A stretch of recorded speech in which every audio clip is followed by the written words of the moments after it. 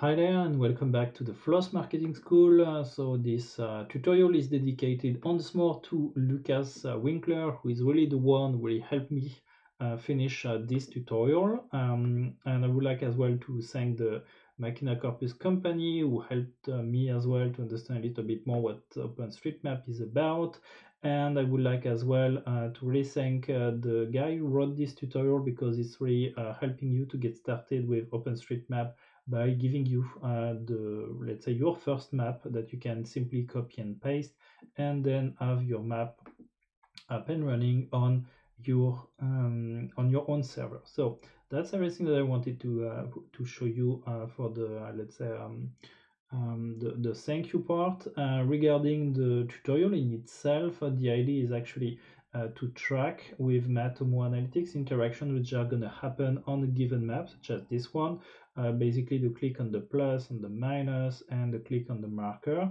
Uh, the main thing that I discover is that uh, you cannot track uh, everything with Matomo uh, Tag Manager as I thought I could at the beginning. So if you just copy and paste uh, the given container in the head of the page, uh, what you could get is, of course, the, the page view and the fact that people are clicking on the map, but you could not uh, extract actually the information which are uh, within the map in itself, which is kind of uh, a pain if you would like, for example, to get the latitude and longitude to where the people clicked out and same stuff regarding the zoom that you have over here. You cannot interact with those with just uh, the tag manager. So uh, let's zoom a little bit on my map. Okay.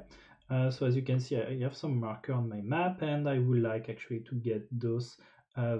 So in order to get, in fact, the value uh, regarding the latitude and longitude of the click made on the marker, so as the uh, zoom part here, uh, what you need to know is that, um, let's say OpenStreetMap is using a library, which is called leaflet.js.com, and this is within this given documentation that you can find all the different methods that you can that you can call such as get zoom for example which is the one telling you what is the current uh, zoom level of the map view and of course to tell you if people just uh, zoom or not. So uh, in order to uh, make this work, what you need to do is that you need to identify within your source code when um, when the let's say when there is the definition, for example, here of the map, and then uh, you will need uh, to define this uh, given part over here.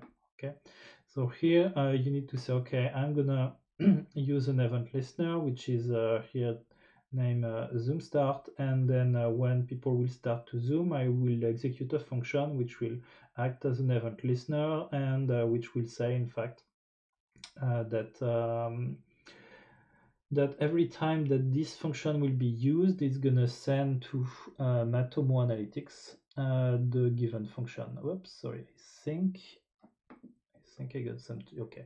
Uh, this what's gonna happen. So if someone uh, use the zoom, it's gonna send an event to Matomo Analytics, um, indicating within zoom the result of the zoom, which is the level at which people uh, zoomed at. So by adding it like this, in fact, what's gonna happen is that if someone is interacting with the zoom and going to the closest level that it could get, okay, something like this, Okay, here's the maximum. And if I look through uh, my Matomo Analytics account, I should see uh, the minimum level in terms of zoom. So an event has been pushed every time that was interacting with the zoom, and this is what uh, we can see. Mm, we can see here down below. You see I've been to the closest possible point of the map. And uh, the other part that uh, we may be interested about is uh, to push information where people are clicking on the marker and would like to get the latitude and longitude.